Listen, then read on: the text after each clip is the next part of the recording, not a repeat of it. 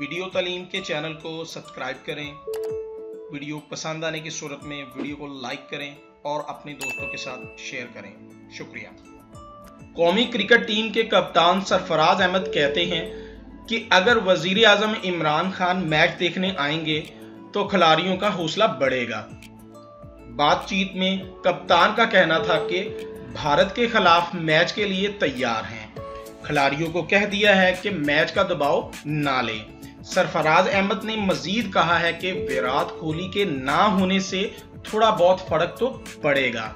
अब देखना यह होगा कि वज़ीर आज़म इमरान खान पाक भारत मैच को देखने के लिए जाते हैं या नहीं। ये तो वक्त ही बताएगा।